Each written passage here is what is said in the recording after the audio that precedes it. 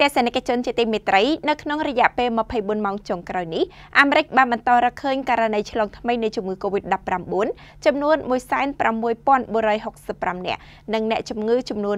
321នាក់ទៀតបានស្លាប់នៅក្នុងរយៈពេលដូចគ្នានៅទូទាំងសហរដ្ឋអាមេរិកនេះបើតាមការដកស្រង់ទិន្នន័យចេញពីគេហទំព័រ Worldometer នៅព្រឹកថ្ងៃសៅរ៍ទី23ខែកក្កដាឆ្នាំ2022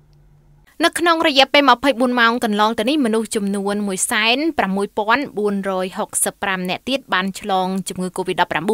ខណៈដែលអ្នកជំងឺចំនួន321នាក់បានបាត់បង់ជីវិតនៅក្នុងរយៈពេលដូចគ្នានៅទូទាំងសហរដ្ឋអាមេរិកនេះបញ្ជាក់តាមការដកស្រង់ទិន្នន័យចេញពីគេហទំព័រ Worldometer នៅថ្ងៃទី23ខែកក្កដាឆ្នាំ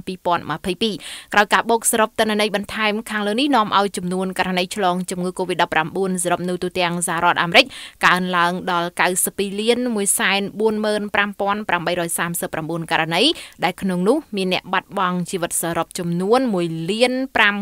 51,912នាក់និងជាសះស្បើយឡើងវិញសរុបចំនួន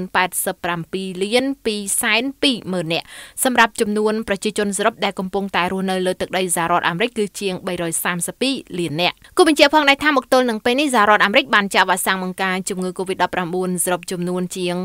601លានដូសដែលក្នុងនោះប្រជាជនចំនួន200 161លាន2សែននាក់ស្មើនឹង79កណកសញ្ញា3%នៃចំនួនប្រជាជនសរុបបានទទួលការចាក់វ៉ាក់សាំងយ៉ាងហោចណាស់មួយដូសនិងចំនួន222លាន9សែន50,000នាក់ស្មើនឹង67កណកសញ្ញា7%នៃចំនួនប្រជាជនសរុបបានទទួលការចាក់វ៉ាក់សាំងគ្រប់ដូស